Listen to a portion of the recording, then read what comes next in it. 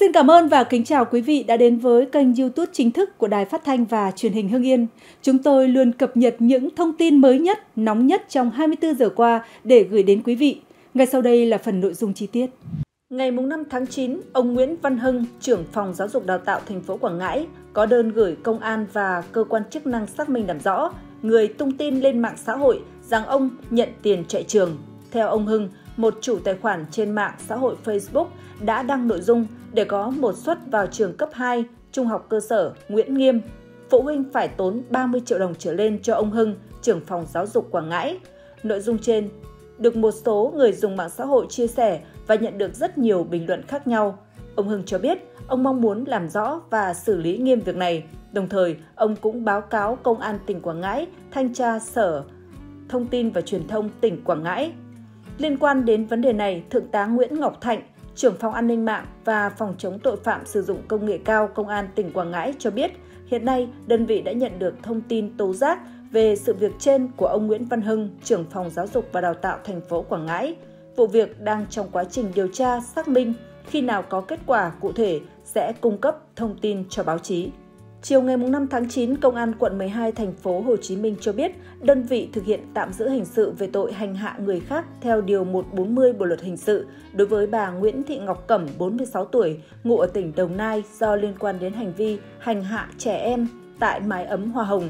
Theo cơ quan chức năng, việc tạm giữ được thực hiện nhằm phục vụ công tác điều tra, việc nhiều trẻ em tại mái ấm Hoa Hồng quận 12 bị đánh đập, bạo hành trong thời gian dài – Lý giải cho hành vi này, bà Cẩm khai với cơ quan chức năng việc đánh đập nhằm để các bé sợ và không quấy khóc. Qua công tác kiểm tra xác minh, các cơ quan chức năng cho biết cơ sở có 5 bảo mẫu có hành vi hành hạ trẻ em. Hiện các đơn vị đang phối hợp để mời các bảo mẫu khác lên làm việc.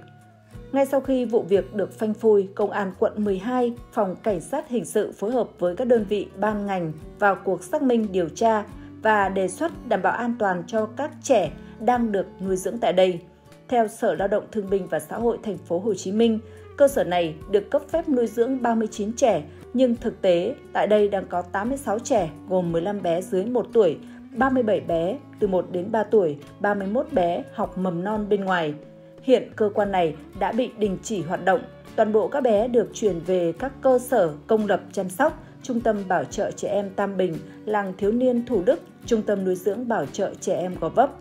lãnh đạo Ủy ban nhân dân thành phố Hồ Chí Minh đã chỉ đạo các đơn vị chức năng khẩn trương xác minh vụ việc, xử lý nghiêm các cá nhân, tập thể vi phạm.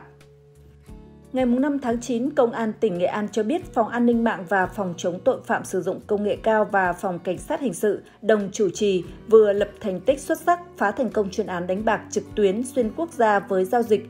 tương đương hơn 250 tỷ đồng, bắt 17 đối tượng trên cả nước – qua công tác nắm tình hình, Phòng An ninh mạng và Phòng chống tội phạm sử dụng công nghệ cao và Phòng Cảnh sát Hình sự Công an tỉnh Nghệ An phát hiện một đường dây đánh bạc trực tuyến dưới hình thức chọn quyền nhị phân BO trên website lokichi.com. Đường dây này hoạt động lưu động, mô hình, quy mô liên tỉnh, xuyên quốc gia với máy chủ đặt tại nước ngoài và do các đối tượng người nước ngoài điều hành. Tại Việt Nam, đường dây đánh bạc trên do Trần Vũ Toàn sinh năm 1990, trú tại Bình Thạnh, thành phố Hồ Chí Minh và Nguyễn Đình Khởi, sinh năm 1994, trú tại huyện Tây Hòa, tỉnh Phú Yên cầm đầu.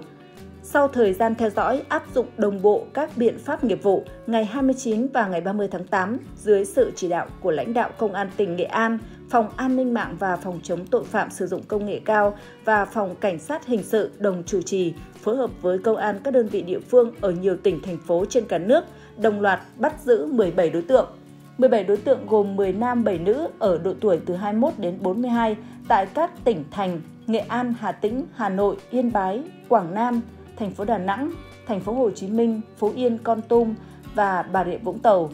Quá trình điều tra, bước đầu xác định chỉ tính từ đầu năm 2024 đến nay, tổng số tiền các đối tượng giao dịch đánh bạc trực tuyến qua website lokichi.com lên tới hơn 250 tỷ đồng. Hiện chuyên án đang được mở rộng điều tra. Công an thành phố Tuy Hòa vừa phá đường dây cho vay nặng lãi của các đối tượng từ thành phố Hải Phòng đến thuê trọ, lưu trú trên địa bàn thành phố Tuy Hòa với lãi suất 282,5 đến 386% trên năm.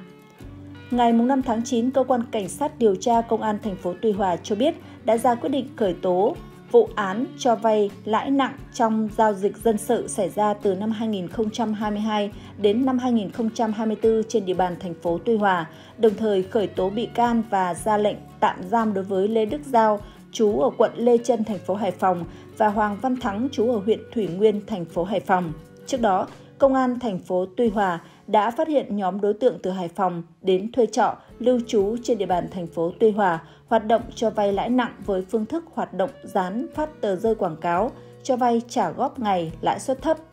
Bước đầu, cơ quan công an xác định trong khoảng thời gian từ năm 2022 đến năm 2024, các đối tượng đã cho nhiều người dân trên địa bàn thành phố Tuy Hòa, thị xã Đông Hòa và huyện Phú Hòa vay với số tiền hơn 2,675 tỷ đồng với lãi suất từ 282,5% đến 386% trên năm. Số tiền thu lợi bất chính tạm tính là 1,35 tỷ đồng. Qua khám xét khẩn cấp chỗ ở của các đối tượng đã thu giữ khoảng 200 bộ hồ sơ gồm căn cước công dân chứng minh nhân dân của những người vay tiền, 14 điện thoại di động, các loại, 3 xe mô tô, một bao tải chứa nhiều tờ rơi quảng cáo cho vay tiêu dùng cùng số tiền 5 triệu đồng. Công an thành phố Tuy Hòa đang tiếp tục củng cố hồ sơ và điều tra mở rộng số đối tượng còn lại trong vụ án theo quy định của pháp luật. Công an thành phố Tuy Hòa thông báo nếu ai là người vay tiền của các đối tượng trên liên hệ cơ quan cảnh sát điều tra công an thành phố Tuy Hòa để được hướng dẫn giải quyết. Sau đúng một tháng bị truy nã, kẻ lừa đảo đã bị Công an Hà Nội và Công an Bình Thuận bắt giữ thành công khi đang đi du lịch dịp lễ mùng 2 tháng 9. Ngày 5 tháng 9, một lãnh đạo Công an thành phố Phan Thiết, tỉnh Bình Thuận xác nhận Công an xã Tiến Thành, thành phố Phan Thiết vừa phối hợp với Công an quận Cầu Giấy, thành phố Hà Nội bắt giữ thành công một đối tượng bị truy nã khi đến Phan Thiết du lịch dịp nghỉ lễ mùng 2 tháng 9. Theo hồ sơ, ngày 5 tháng 7 năm 2024, Vũ Tuấn Anh, 47 tuổi, quê quán Phú Thọ, ngụ quận Cầu Giấy, Hà Nội bị cơ quan cảnh sát điều tra công an thành phố Hà Nội khởi tố về tội lừa đảo chiếm đoạt tài sản theo tài khoản 4 điều 174 Bộ luật hình sự. Tuy nhiên, từ tháng 2 năm 2023, bị can Vũ Tuấn Anh bỏ trốn khỏi địa phương. Theo điều tra, Vũ Tuấn Anh đã thực hiện hành vi lừa đảo có quy mô lớn gây thiệt hại nghiêm trọng cho rất nhiều nạn nhân nên ngày 2 tháng 8 năm 2024, Thượng tá Đặng Văn Quảng, Phó Thủ trưởng Cơ quan Cảnh sát điều tra Công an thành phố Hà Nội ra quyết định truy nã Vũ Tuấn Anh trên toàn quốc.